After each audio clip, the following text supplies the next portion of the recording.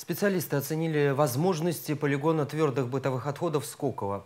Проверка проводится раз в пять лет по действующему законодательству. Очередной срок подошел в октябре прошлого года. Сотрудники Центра лабораторного анализа и технических измерений установили площадь свалки под Ярославлем более 60 гектаров. Проектная мощность 10 миллионов тонн. Сейчас полигон заполнил чуть меньше, чем наполовину. Правительство Москвы недавно обратилось к руководству Ярославской области. В столице сложилась очень сложная ситуация с захоронением бытовых отходов. Малую часть столичного мусора попросили свозить на полигон под Ярославлем. Это будут делать меньше года. Всего хотят разместить около 200 тысяч тонн бытового мусора.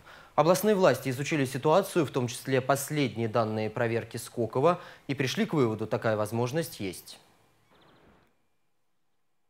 По состоянию на 1 января 2018 года а, полигон заполнен на 49% и потенциальный срок его эксплуатации составляет более 20 лет. Кроме того, а, наше учреждение готово предоставить а, материалы инвентаризации рабочей группе, которая начинает работать в области с понедельника следующей недели.